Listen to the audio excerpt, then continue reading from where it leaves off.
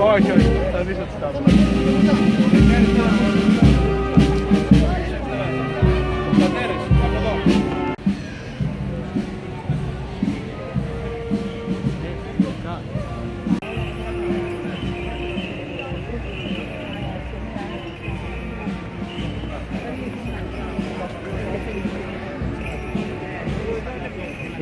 Έχει σαμπούλι την μπροστά τώρα.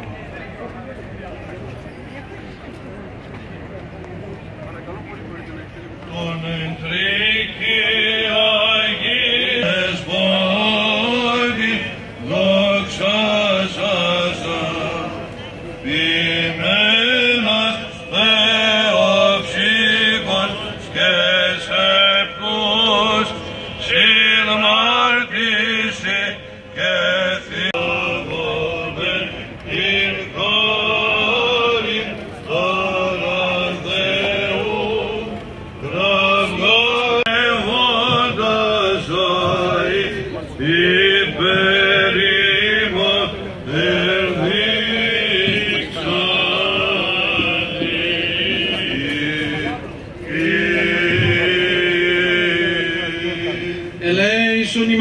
Θεός κατά το μέγα έλεος σου, δεόμεθα σου επάκουσον και ελέησον. Κύριε ελέησον, Κύριε ελέησον, Κύριε ελέησον. Εντιδεόμεθα υπέρ των ευσεβών και ορθοδόξων χριστιανών. Κύριε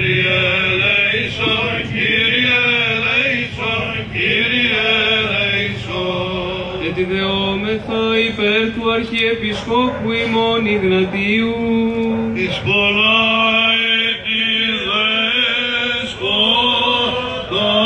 και των συνευκομένων αυτό αγιοτάτων αρχιερέων Χρυσοστόμου, Χρυσάνθου και Χρυσοστόμου του και πατρός και επιμελάρχου ημών και πάσης της εν Χριστώ ημών αδελφότητος.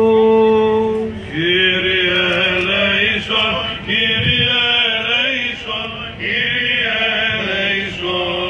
ευσεβών και ορθοδόξων χριστιανών, των κατοικούντων και παρεπιδημούντων εν την πόλη ταύτη, πυρός μαχαίρας επιδρομής αλλοφύλων, εμφυλίου πολέμου και ευνηδίου θανάτου, υπέτου ηρωνευμένη και ευδιάλακτον, γελέστε των αγαθών και φιλάνθρωπων. και ζωοποιού σταυρού, προστασίες των τιμίων επουρανίων δυνάμεων ασωμάτων, οικεσίες του τιμίου ενδόξου προφήτου προδρόμου και βαπτιστού Ιωάννου, του Αγίου Ενδόξου Αποστόλου Ανδρέου του Πρωτοκλήτου και πάντων των Αγίων Αποστόλων, των Αγίων Ενδόξων και Καλλινίκων Μαρτύρων, των Οσίων και Θεοφόρων Πατέρων ημών, των Αγίων και Δικαίων Θεοπατώρων Ιωακήμ και Άνης και πάντων των εν τρί Κύριε λαμψάντων Αγίων κόσμων Σου και σώσον τα ψυχάς ημών